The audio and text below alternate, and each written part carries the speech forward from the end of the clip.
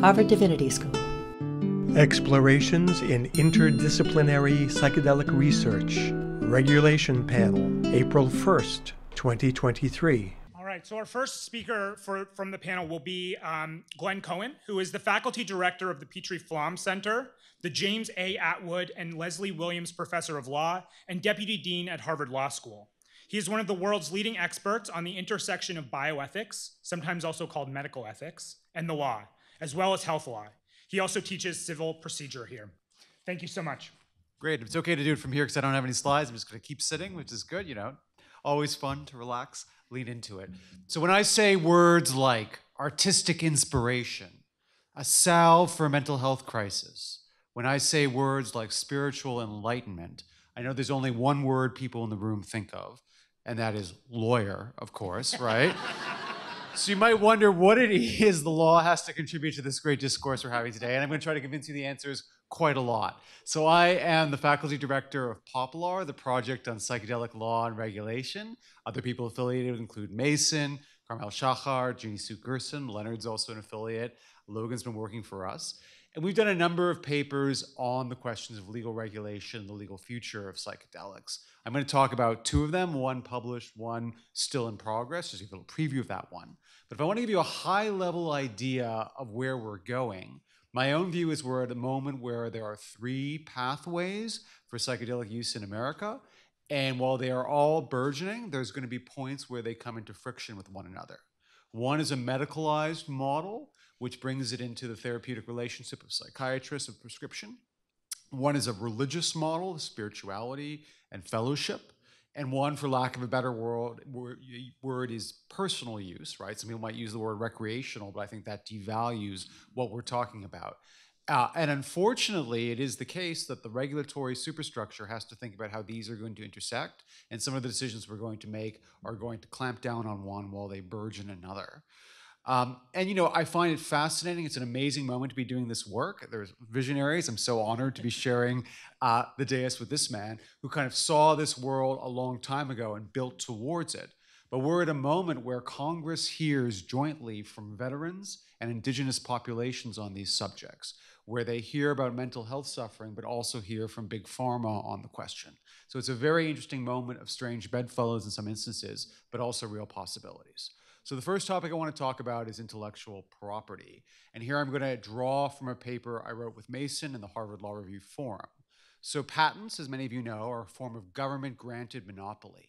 They give the holders the right to exclude others from making, using, or selling an invention for approximately 20 years from the date each patent application is filed. The public policy justification for such patents is that the right to exclude competitors incentivizes innovation and encourages inventors to disclose their inventions to the public instead of maintaining them as trade secrets. We see companies like the British pharmaceutical firm Compass Pathfinder Limited seeking and obtaining patents to protect the formulations of psychedelic compounds and methods of producing and administering them. Such companies argue that patents are necessary to protect their investment, not only in drug discovery, but also because of the cost of commercialization, which may involve very expensive clinical trials, as you well know, and other requirements to obtain FDA approval, as well as buy in from the medical community thereafter. This sudden influx of psychedelic patents has prompted criticism from stakeholders, including patients, indigenous populations, journalists, lawyers, and the like. And they contend that the patents can exploit the traditional knowledge of indigenous communities without permission or adequate acknowledgement and compensation. Others argue that psychedelic patents are making a small number of companies gatekeepers for the emerging uh, psychedelic industry, which could inhibit research, stifle innovation, and restrict access to needed therapies. In addition, some commentators frame the medical product landscape as a thicket a dense web of interlocking patent rights that restrict the entry of competitors. Formed when patent holders pepper the field with numerous patents on the same product or closely related product, these patent thickets discourage researchers and manufacturers from entering the field out of fear of being sued for infringement or having to pay a high licensing fee to patent holders. In many cases, the result will be that only large, well capitalized firms will be able to navigate these murky regulatory waters surrounding psychedelic research and development. Granting patent exclusivity enhances existing disparities and the unique characteristics of psychedelics together with the regulatory environment surrounding them, may increase the likelihood of issuing bad patents that are patents granted on inventions that do not meet the patentability requirements or that were patented in bad faith to block competition. And this is a real problem because the people who work at the PTO, the Patent Trademark Office, they typically lack examiners with sufficient knowledge of these substances and their history. There's been long-standing prohibitions, of course, of drug use from very people in the federal government, and the associated stigma and criminalization could threaten one's professional reputation and employment prospects. And when you don't have patent examiners with detailed knowledge of psychedelic compounds and their history of indigenous as well as underground use, the chance of bad patents getting through is more likely. Critics of psychedelic patents argue that many granted and recently filed patents would not stand up to scrutiny. While some of these could lack novelty, which is a requirement of the patent statute, others may lack non obviousness because a person having ordinary skill in the field could have foreseen how to make them. Others would be invalid if they claim naturally occurring psychedelic plants or fungi or phenomena exhibited by these organisms as patent subject matter. But unfortunately, even if patents might ultimately be invalidated if challenged, they can be used to cause significant offensive harm against challengers. Patent holders can claim infringement by potential competitors, many of whom will be unable to mount an effective defense due to the prohibitively high cost of litigation. To use an evocative phrase of my colleague Bob Mnookin in another context, business decisions are often made in the shadow of law, such that the threat of such litigation by a patent holder may deter backers from, uh, from, from investing in a space. Asymmetries of power resulting from abuse of the patent system are particularly relevant to this emerging industry, where barriers to entry are already very high. And we view the history of ketamine as a bit of a cautionary tale from which a space in which large companies have monopolized the space. We also see a race between those who want to push a psychedelic renaissance focused on naturally occurring substances and those who want to push one based on synthetic psychedelics and the ways in which existing IP law and the cost of the FDA processes sets up some tension and some preferences for one of the other. And one way to think about it is that IP will, to some extent, set the terms about what psychedelics we get which are allowed outside of underground use and which are readily available for the therapies we so desperately need. Okay, thank you very much.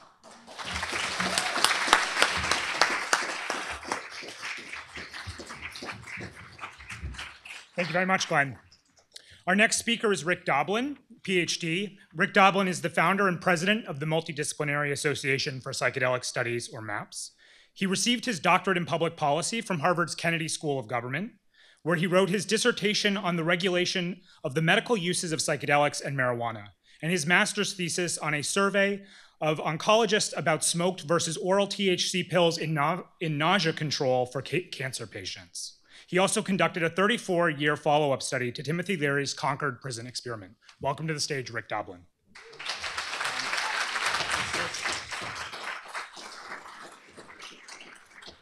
Yeah. Um, thank you very much. It's, it's, really a pleasure to be here. Um, first off, I just wanted to make um, oops, uh, a comment about terminology. Um, so, Max, I just be careful about uh, counterculture as a term. So, I think that was one of the big mistakes of the 60s for people to identify as counterculture. And so, the thrust of our work has been to try to become the culture instead of to be the counterculture. Um, and then, Glenn, just you were struggling for another word for recreational. And so I, I like the word celebratory. It, it, doesn't have the kind of pejorative terms that, that recreational does. Um, so I'm just going to briefly give you an, an, overview. Brevity is, is not my strength, but I will try my very best. Um, and it's, of course, um, it's almost Good Friday uh, coming right up. So 61 years of psychedelics at Harvard. Um, what got me into psychedelics was 1972 um, and it was out of despair for the way the uh, world was going, the uh, Vietnam War. I was uh, um, in one of the last years of uh, the lottery. I'd been traumatized at a distance from the stories of the Holocaust and also the Cuban Missile Crisis. We could blow up the whole world. And so when I first started doing psychedelics, I got this sense that if we could identify not as our tribe, as our culture, as our religion, as our gender, as our nationality, any of these things, if we could have a deeper sense of who we were, who we are, that would be the antidote to uh, racism and genocide. And uh, there's a great album by Rita Marley, uh, Bob Marley's wife. It's "Who Feels It Knows It." So it's not just to say it, you got to feel it, and often this is where psychedelics come in. And not that they're the only way, but they're a major way, and they've been used for thousands of years. So this sort of theory of change was reaffirmed for me by Robert Muller. This was 1983, and he was the Assistant Secretary General of the United Nations. He also started the UN University for Peace in Costa Rica. And this was his idea about shaping a global spirituality. And you can see that the Earth from Space was on the cover of the book, and he was saying that astronauts a lot of times were getting this, the uh, sort of overview effect. So psychedelics aren't the only way. It's a lot cheaper to give somebody psychedelics, though, than shoot them up in space. Um, but the theory is this that mysticism is the antidote to fundamentalism. And I think that's going to be one of the major challenges, I think, particularly here at the Divinity School, is how do we take people who are, um, you could say, in some ways um, inspired by, but also trapped by fundamentalism and literalism? And how do we help them realize that if they let go that, something deeper is this um, sort of experiential sense? And it doesn't mean that they have to give away your cultural context or your terms, but you can see them in a different way. So this was, um, for me, very inspiring. And so I ended up writing a letter to Robert Muller, and I said, "Your book is great. I totally agree with it, but you don't say anything about psychedelics. And would you like to know about psychedelics? Um, and can you help us bring back psychedelic research?" And and he said yes. Um, now this is you can't really read it, but I just want to say that uh, I developed a proposal for Robert Muller in 1984, and this was for something that um, is happening in a sense right now by um, the studies of uh, religious leaders with psychedelics at Hopkins and NYU. So this was an idea: is can we take a bunch of people who are in training for different religions, and have uh, different groups, and some of them get psychedelics and some of them don't, and then you do a, a sort of cross analysis from all the people in the different religions, because a lot of the imagery is not going to be from, I would predict, is not going to be from their own cultural context. It will be, but it will also be other cultural contexts, and then what kind of um, studies can we see, and is there such a thing as an underlying uh, common mystical core. And we don't think twice about it when we talk about languages, right? Um, there's all these different languages, but we don't say Russian is uh, better than Amer- English and English is better than German. You know, they're all coming from our common desire to communicate using sounds. So I think that that's one way to um, think about religion. And we actually did uh, scout the UN grounds for a potential psychedelic research site at the time because the UN is not technically in America. They've got their own little legal status. So we never got permission to do this at the time, though, or didn't do it. But this, I think, is what's really exciting about the work that's going on with psychedelics and spirituality. Um, this is our um, MAPS logo uh, as interpreted by Alex Grey. But the important point is that the hands are in front and the psychedelic swirly images in the back, meaning that it's about therapy, it's not about the drug. The drug makes the therapy more effective, it's not like ketamine that's often administered without any therapy. This is therapy is administered with the adjunct of a psychedelic. And that's the message that we're trying to get across also to the FDA, to the DEA, that this is really a therapy tool. Um, now, this was uh, Timothy Leary and I in uh, 1990. And so this was a benefit for MAPS. And it was tremendous. And after um, his talk, I went up to him and I said, um, Can you pre- please um, give us some advice? Those of us who are wanting to work with the government to try to do psychedelic research, you know, you've been struggling for so long in this field of psychedelics and you did this early work at Harvard. You know, what advice would you have for those of us who want to do work with the government? So the first thing he said is, fuck the government. he said, he said, I am so far past uh, asking for permission for anything but I'm glad you're doing it. And, and, that's where he held up my hand. So I, I thought this was kind of this, uh, the passing of the torch in a way. Um, all right, now the Good Friday experiment, um, what people, um, what shocked me is that it took place in the Marsh Chapel.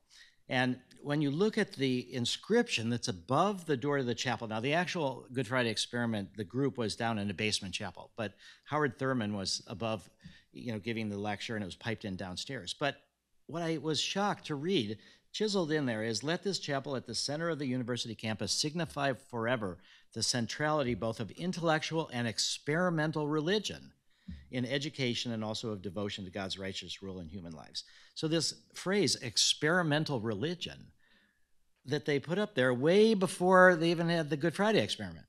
Now, the other part is that Howard Thurman, who was the minister here, studied with Gandhi And he was very interested in the role of uh, spirituality in political action, the, the, the political implications of the mystical experience. And Howard Thurman was also the mentor for Martin Luther King. And Martin Luther King got his PhD at Boston University. So we have from the person that really helped start this research in psychedelics and mystical experiences, also helped introduce the whole concept of nonviolent resistance to the American Civil Rights Movement. It's really inspiring. So one of the problems, though, now I'll just say from the, my follow-up to the Good Friday experiment, was that the results were affirmed. You know that, that it was shocking. People could remember very clearly what their psilocybin was. A lot of times, the people that got the placebo didn't have that much memories. But what I found was that there was a bit of an exaggeration of the benefits. It was written in Time magazine. Everybody that had the the psilocybin had a mystical experience, like the saints of the ages, and that's not true. Not all of them did. And then it turned out that one person was so moved by uh, Howard Thurman's speech, which, by the way, is um, was recorded and is on the MAPS website. So if you want to hear Howard Thurman's Good Friday lecture, we still have it. And one party's like, you have to tell people there's a man on the cross. You have to tell people there's a man on the cross. And this one divinity student from Andover Newton said, yeah, I, I should do that. I, I should do that now. and I should tell the president. And I should leave this room and I should go tell the president. And then he's like, well, the president is in Washington. I'll tell the president of the university. So he's wandering down, as you know, Commonwealth Avenue is not very, uh, it's a quiet, it's not a quiet street. and so um, Walter Pahnke and uh, Huston Smith got really nervous and went chasing after him. And they caught him, and he didn't want to go back indoors. Now he's outside, and he's got this mission to tell the president. So they injected him with Thorazine. And that was completely uh, missed. They never reported that. So there's a bit of an overemphasis on the benefits and a minimization of the risks. All right, but then their next step was going to be the Concord Prison experiment. And this was this idea that you could have a mystical experience, but how you describe it is subjective. What you say about its benefits in a way are subjective. But if you can reduce recidivism, that's an objective external measure. And this would be a great way to show that psychedelics had transformative power. And so they actually went into Concord Prison, took psilocybin with the prisoners. They would have half the researchers uh, stay get a placebo, half to take psilocybin, and they uh, treated about 35 people, and they ended up uh, releasing them, and then they tracked recidivism. And this was considered to be one of the most uh, best examples of psychedelic therapy uh, in the history of the psychedelic literature. And when my paper um, about the Good Friday experiment was published in the Journal of Transpersonal Psychology in 1991, I got a call from someone from the Department of Corrections here in Massachusetts, and he said they had a room with uh, the files from interesting prisoners. Uh, Malcolm X was one of them. And, but they had the prisoners from the Concord Prison Experiment, and that list was gone. Nobody had that list. So they let me go ahead and um, do that. It took a whole year to get permission from the governor, and the permission came with this scribbled, uh, it was permission, but somebody had scribbled, no psilocybin. you know, we weren't asking to give psilocybin. It was like, no psilocybin, just to make sure. So what I discovered, unfortunately, was that this was um, a completely flawed analysis and that it did not really work. And that there was one example that you could say is uh, close to scientific fraud, which was that obviously the longer you're out of prison, the more likely you are to go back. So they compared their um, 35 plus people uh, when they were an average of 10 months out of prison, and they compared it to the base rate of people that had been released from Concord Prison the years before, but at 30 months. So it's obviously that there'll be more people going back to prison after 30 months. And when you look at the actual paper that they just that they wrote with their base rates, they, they tracked it over time. So the 10-month rates for each one of them were identical. But what happened was that Leary and Metzner and Ram Dass, they all realized that you cannot just give somebody a, a, psychedelic experience. You have to support them when they get out of prison, the same way that we talk about integration after the psychedelic experience. And once they realized that, they started setting these up, and then they got kicked out of Harvard. And so that fell apart. So the experiment has never really been done, but it's an example, I think, of Leary believing that since the world was demonizing psychedelics and exaggerating the risks and suppressing and denying the benefits, that he was justified to do the opposite. And so I think we have to be very careful. If there's going to be a backlash, I think it'll come from us exaggerating the risks. Um, I mean, exaggerating the benefits and minimizing the risks. Um, now, part of symbolism of the psychedelic renaissance is we had to start research at Harvard again. because this is where things began. We also had to start research with LSD because that's the quintessential scary psychedelic. So in 2007, we did manage to start at McLean Hospital a study with MDMA for cancer patients. And one of the ones things that I'm most proud of in the entire um, history of uh, 37 years of MAPS is that we managed to start LSD research in Switzerland in 2008, right before Albert Hofmann died and his wife Anita. So they were married 70, 79 years, but they were able to see the very beginnings of LSD research starting again. But it was really also this symbolism of getting uh, psychedelic research starting back at Harvard that I think helped cement this concept of the psychedelic renaissance. Now, we have two successful phase three studies, and this is just the results of our first one severe PTSD. Th- There's a whole strategic analysis. I won't get into it because of time, but, but there's a whole strategic analysis like which drug, which condition is most likely to make it through the system. I thought MDMA being the most gentle, and we needed uh, sympathetic patients. So I like to say we don't do science, we do political science.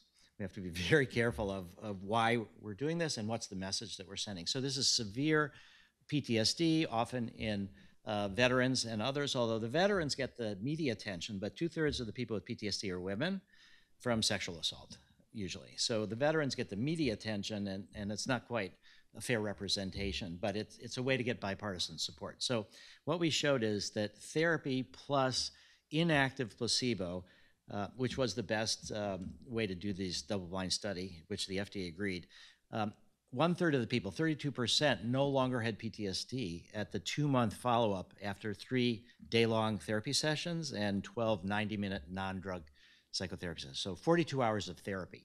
So it's pretty great that these people who had PTSD an average of 14 years, one third over 20 years, one third of them almost had no, P- no they would not qualify for a diagnosis of PTSD at the two month follow up. But then you give uh, MDMA, you add it to the mix, and it more than doubles to 67%. So it's astounding. And another 21% are uh, treatment responders. They, they have clinically significant reductions of PTSD, but they still have PTSD. If we give them a fourth session or over time, so we basically have 88% responders, 12% non responders. So this was our first phase three study. Um, our second one, we just released the press release January 5th. It was um, confirmatory. So you, you talk about your first is a pivotal study, your second is confirmatory. So it has taken us um, from 1986 when I started MAPS, 85 was when MDMA was criminalized. So pretty much 37 years to, to get to this point of two successful phase three studies. And this was um, very, very successful and is being uh, submitted to a major journal, and hopefully it'll be published in the next couple months. Um, and then uh, we've got the world's biggest uh, conference on psychedelics coming up in Denver. I'd like to invite all of you to that. We've already got over 5,000 people coming. Um, we've had three other psychedelic science conferences uh, 2010, 2013, 2017, and this is the one. The theme is sort of um, the doorway to the new world. You know, and this new world is going to be uh, not just uh, uh, MDMA, but psilocybin and other substances becoming, I believe, prescription medicines in certain kind of controlled contexts. And so I'm very proud that Josh Gordon, who's the head of NIMH, is going to be coming. Michael Pollan's coming. Uh, Deepak Chopra. Um, there was actually a really hilarious thing. I'll say it was on um, Fox Sport, Fox News Sports, and it was about uh, Aaron Rodgers, who's a football quarterback. And I, I was just with him the other day in Austin, and uh, he's had ayahuasca experiences. And so this was like Fox News, like a sports team debating: Is this a good idea? Is this a bad idea? what, is, what is this? But to see the Fox people come on, oh no, it's just for medicine. It's not. A, it was it was fantastic. So I would like to invite you all to this conference, and it's just a pleasure to see that the Divinity School is really comfortable and and law school that all of this is moving forward in an above ground way. And I will say, I think it is becoming the culture, not the counterculture.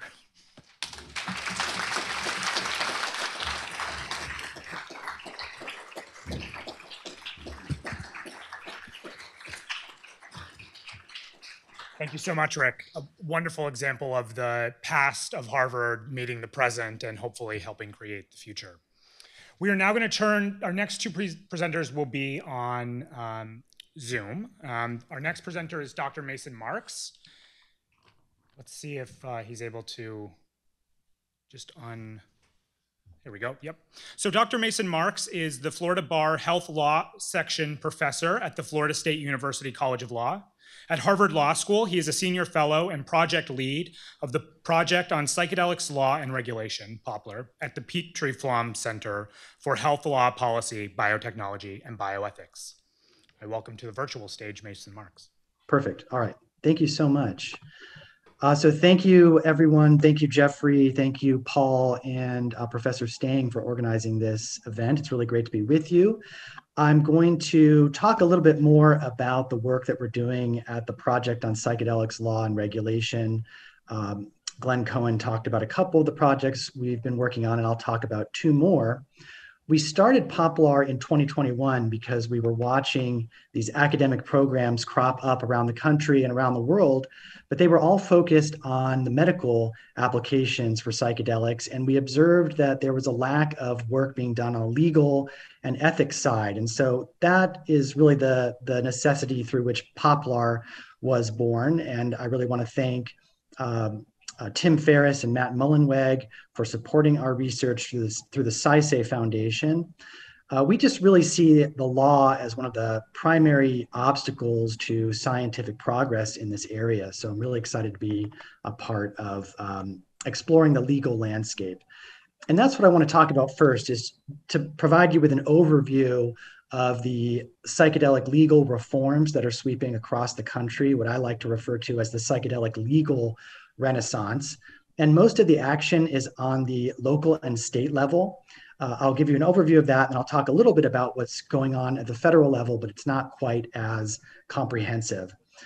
So I recently published an article called The Varieties of Psychedelic Law in the journal Neuropharmacology, where I break down five different categories of psychedelic legislation that we're seeing. There are others that exist in other countries, but these five are really the types that we're seeing in the US and certain hybrid approaches, combinations of these different categories. And the first is decriminalization, which involves either the uh, uh, reduction or elimination of criminal penalties associated with various activities like producing, possessing, consuming, or sharing psychedelics.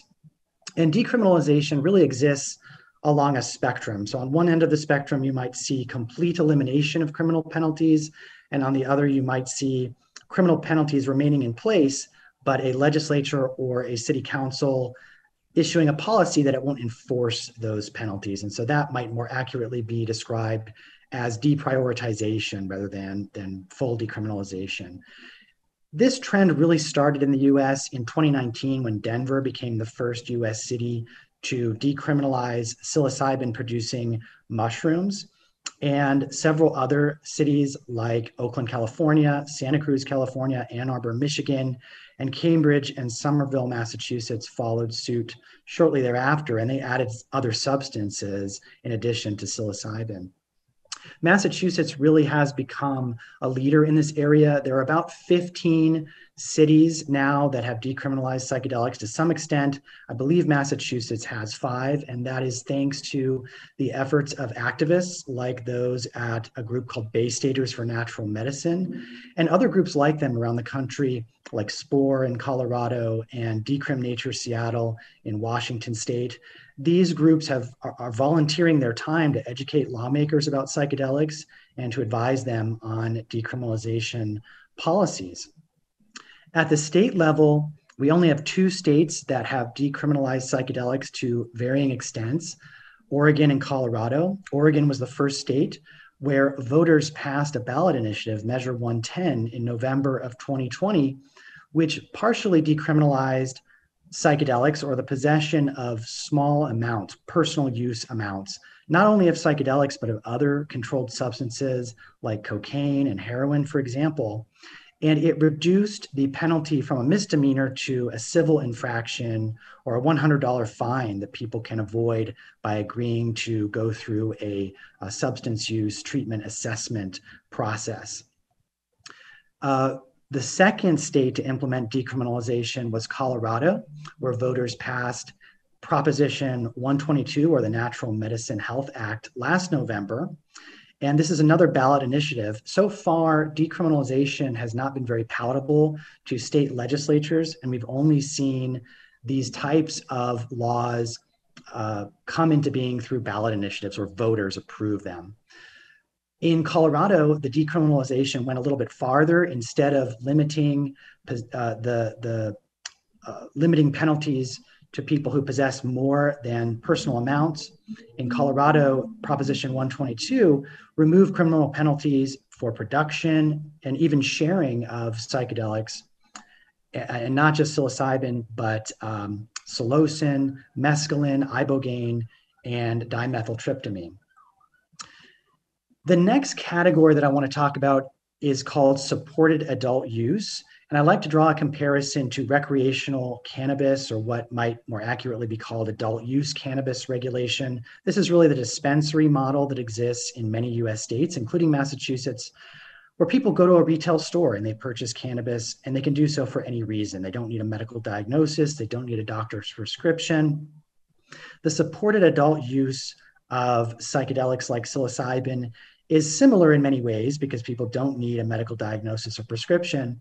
However, they can't take the product home. They have to utilize it at a special center, a service center, or healing center where a licensed psychedelic facilitator is there to support them, ensure their comfort and safety. So, Oregon was the first state, again, to implement this type of legislation. Voters approved Measure 109, the Oregon Psilocybin Services Act, alongside the decriminalization uh, ballot initiative, Measure 110, again in November of 2020. And since then, there's been a two year rulemaking process where the Oregon Health Authority has been creating rules for this emerging industry that it published in December. Colorado is a little bit later, uh, came along a little bit later. Uh, alongside the decriminalization provision of the Natural Medicine Health Act, there was also a framework for supported adult use passed last November. And the governor recently appointed members to a Colorado Natural Medicine Advisory Board in January.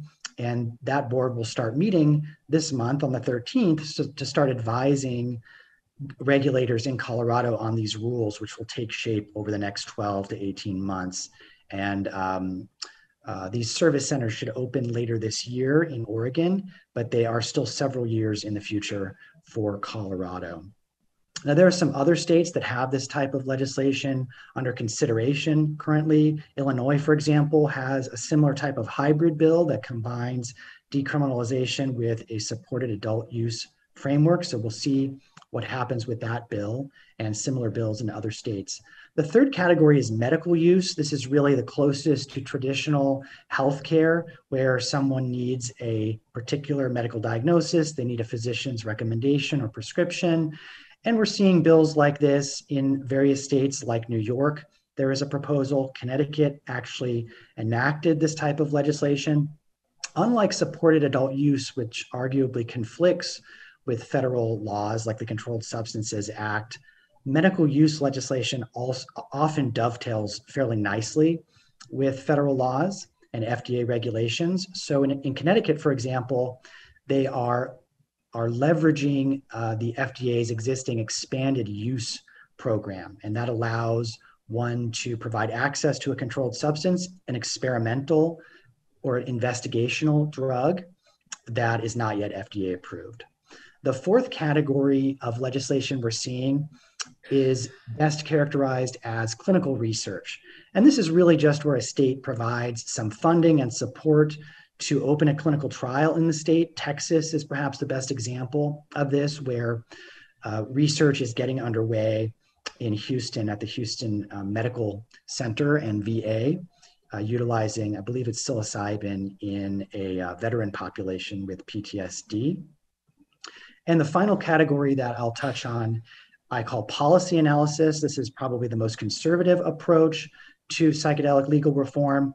Really, what happens is the legislature might provide some money to create a task force or a work group to study the feasibility of further psychedelic legislation. And we've seen this type, of legislation uh, under consideration in states like Hawaii, as well as Washington state, which now has this type of bill under consideration by the legislature. One of the projects that we have uh, in the works, which should come out any day now, actually, in the Boston University Law Review, is a law review article about the regulation of microdosing, where people take small doses of a psychedelic, typically a dose that doesn't cause any perceptual changes. And in this article, we address how microdosing is regulated currently under state, local, and federal law, and how that um, perhaps should change in the future. The second thing I want to talk about in my remaining couple minutes is the reform of, of controlled substance regulation. Our colleague at Poplar, Carmel Shachar, and I recently uh, published an article in Nature Medicine called Drug Scheduling Limits Access to Essential Medicine, Medicines and Should Be Reformed. And in this piece, we talk about how uh, we like to think of Schedule One, uh, which is the most heavily restricted category of controlled substance, as a regulatory black hole. And that's because once substances are placed into Schedule One, they almost never come out. And that's due to an informational asymmetry where very little often low quality evidence is required to put a substance into schedule one but you need a mountain of uh, very high quality evidence to take it out. And due to this informational asymmetry substances get trapped there. And i know that rick doblin is very familiar with this because in the 1980s he urged the drug enforcement administration the dea not to put mdma into schedule one. And they went ahead and, and did that anyway. And it's taken all these years since then. And tens or hundreds of millions of dollars to be on the brink of potentially taking MDMA out of Schedule One. And part of the problem is that over the years, many people, including uh, courts and legislators and regulators, have confused the requirements and the purpose of scheduling with the FDA approval process. And oftentimes they're treated as the same when they actually serve different purposes and have different requirements.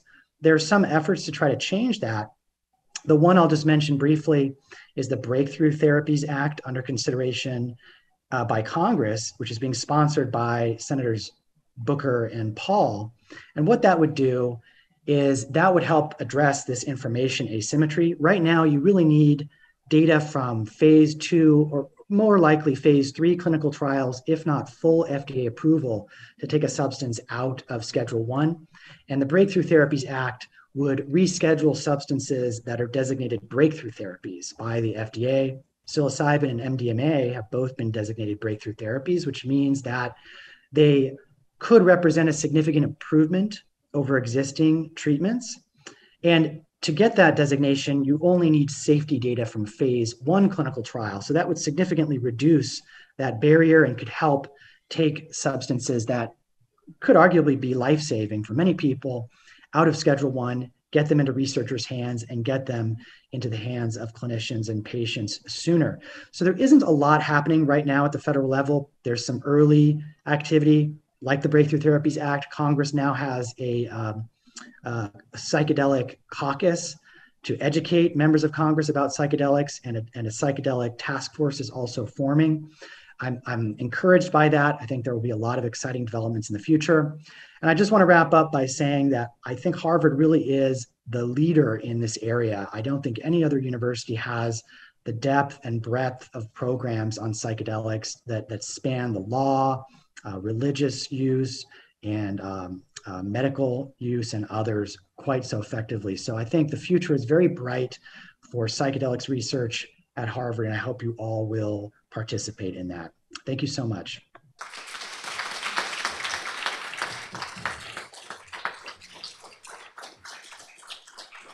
Thank you, Mason.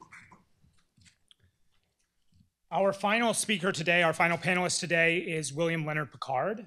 Um, William Pickard is alleged to, or Leonard Pickard is alleged to have produced 90% of the world's LSD. I believe that is a quote from the DEA. he is a former drug policy fellow at Harvard, Harvard's Kennedy School of Government research associate in neurobiology at Harvard Medical School, and deputy director of the Drug Policy Analysis Program at the University of California, Los Angeles. With two life sentences without parole, he served 20 years in maximum security federal prisons before being released in 2020. I am very honored to welcome Leonard Pickard to the virtual stage. Yes, good afternoon, and uh, lovely to be with you all, and especially with uh, colleagues uh, Glenn Cohen, Mason Marks, and uh, Rick Doblin. Lovely to see you all. I must appear uh, virtually, uh, not being permitted to travel on this occasion, but uh, we'll do a brief historical aspect of what all came before the medicalization paradigm and there's some projections on possible futures, the what may come. So let's share our screen and proceed into uh, a number of slides on the historical aspects, and then we'll return to possible future scenarios. Imagine yourself 20 years ago. What were you doing in psychedelics?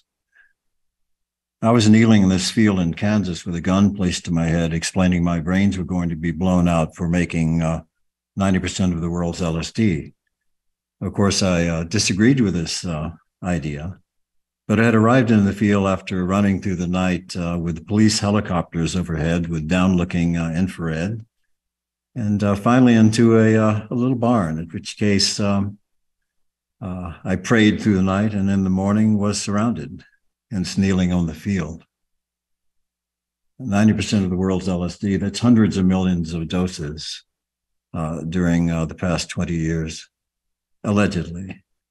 But what were the historical events that brought me to my knees in that field in Kansas? It all started with this fellow, Augustus Stanley Owsley, uh, of a Kentucky uh, political family.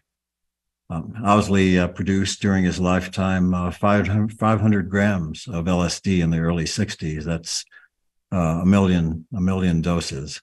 Quite a large batch at the time. Went out all over San Francisco and Northern California. Um, but he was superseded by this fellow, Nicky Sand. Nicky Sand, the chief chemist of the Brotherhood of Eternal Love, and a, a friend of Rick's before before he passed, as well as my own in my youth. Uh, uh, a wonderful blotter photograph of Nicky, produced um, 150 million doses in the course of his career, about 13 kilograms of uh, pure LSD that went out across not only Northern California, but across America and the world, and Italy, France, uh, Thailand, South America, a revolution at the time.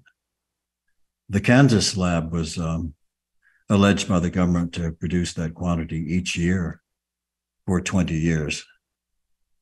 Uh, uh, Nicky uh, Owsley and myself were all students of this wonderful individual, Sasha Shulgin and Anne Shulgin, um, authors of the seminal text PiHKAL and TiHKAL.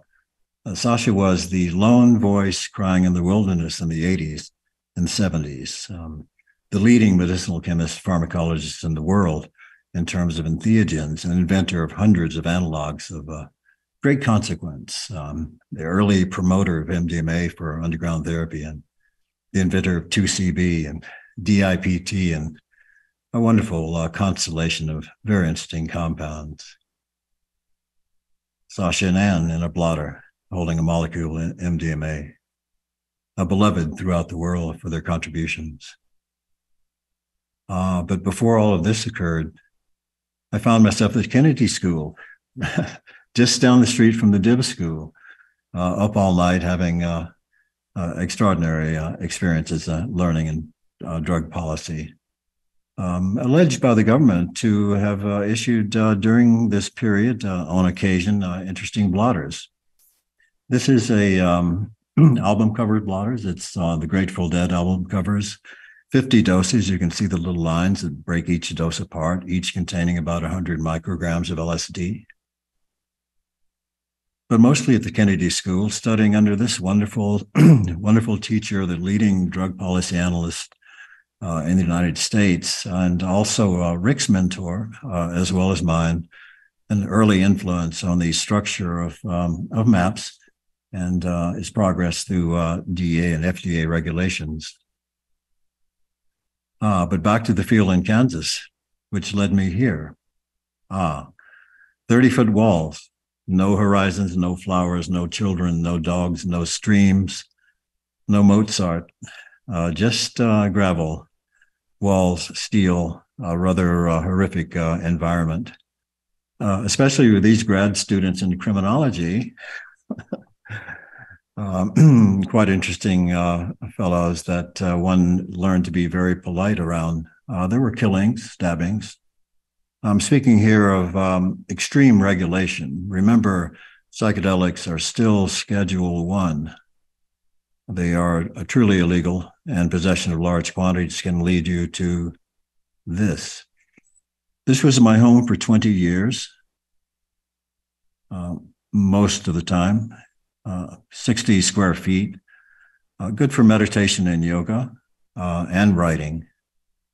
Um, during this period, I reflected back on some early work at uh, the Kennedy School and the prediction of the fentanyl epidemic in 1996 under Mark Kleiman, in which we anticipated the next major drug of abuse would be a fentanyl. Uh, that work was picked up by Rand Corporation in 2019 while I was still incarcerated and published in their seminal work, The Future of Fentanyl and Other Synthetic Opioids. Uh, I was released uh, shortly thereafter. Uh, Rand quoted the fentanyl prediction at the Kennedy School as the first prediction and recommendations for prevention of a epidemic that was 20 years in the future uh, was considered science fiction in 96, but unfortunately became the tragedy it is today. Uh, released in 2020, I entered a world where billions of dollars and thousands of distinguished uh, researchers had eyes upon psychedelics.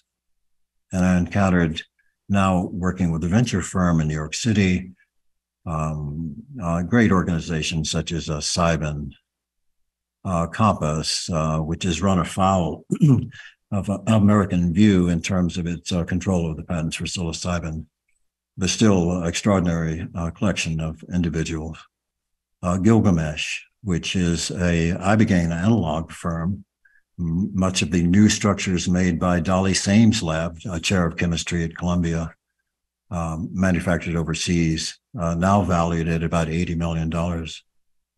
Uh, and other other firms, uh, hundreds of firms, frankly, three three to five hundred psychedelic firms have appeared in the last three years as a result of uh, not only Rick's work but um, Roland's work, uh, seminal efforts at Hopkins.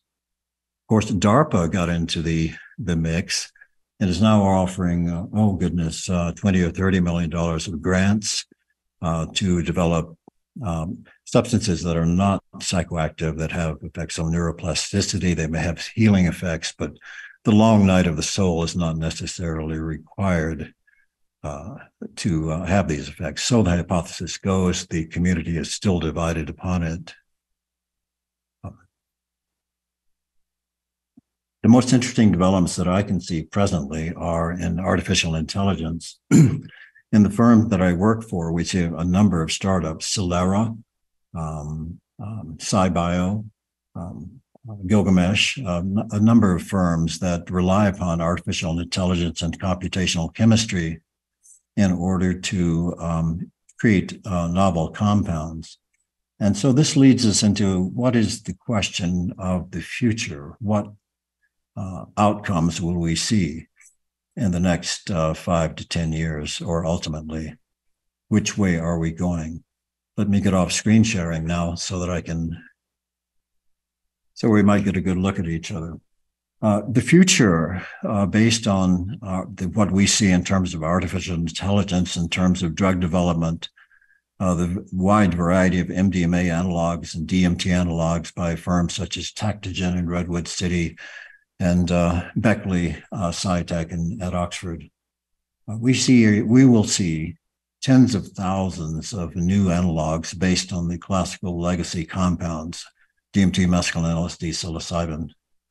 We'll see intravenous use, sublingual use, uh, buccal use, um, every conceivable variety of um, variations on these molecules is being developed as we speak. Stakeholders are are uh, claiming uh, claiming patent rights for every every molecular variation, even though it's dreamed purely in silico by artificial intelligence platforms such as Schrödinger.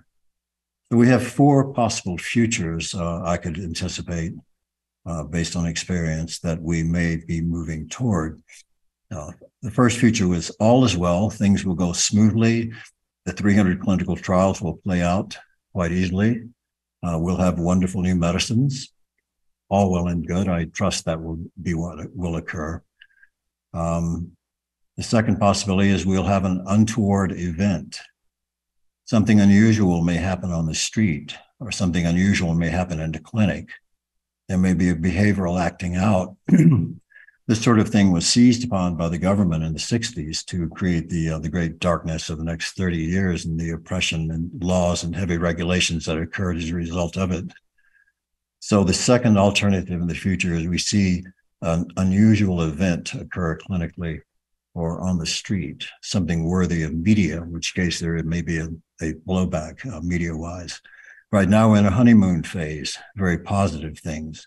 We all have great hope for uh, Rick's effort, those of MAPS, those of the hundreds of firms doing such wonderful research. And we have the momentum and the distinguished eyes upon this and the funding upon it. So the future is likely bright, but there may be uh, an awkward uh, moment in the next few years.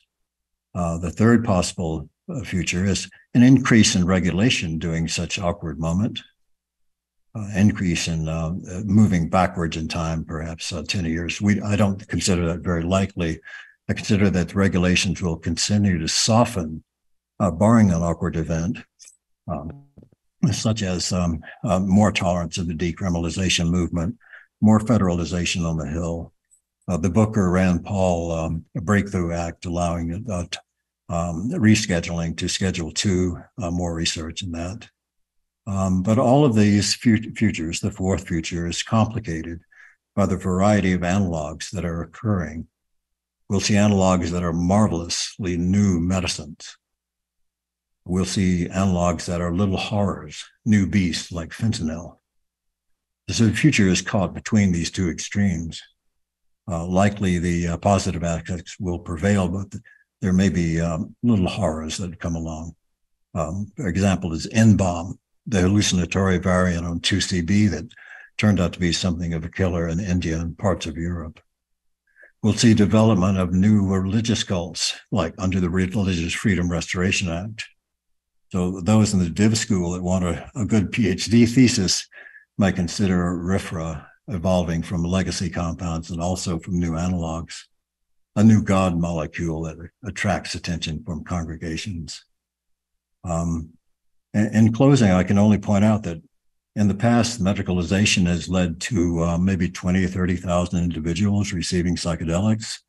That's about to change. There'll be hundreds of thousands, if not millions. But in the past, in the underground, there were 2 billion doses distributed around the world in the last 40 years. And that continues at the rate of two to 300 million doses a year in the illicit underground market we trust that the medical market will um, expand broadly around the world, bringing marvelous new medicines. Let me close uh, with those thoughts and uh, with all honor to our distinguished panelists and all honor to the many gathered here today to advance this, this dream. Thank you.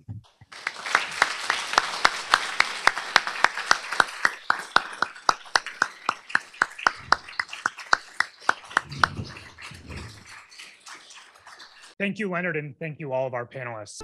Sponsors the Harvard Psychedelics Project at HDS, the Center for the Study of World Religions at HDS, and Harvard Divinity School. Copyright 2023, President and Fellows of Harvard College.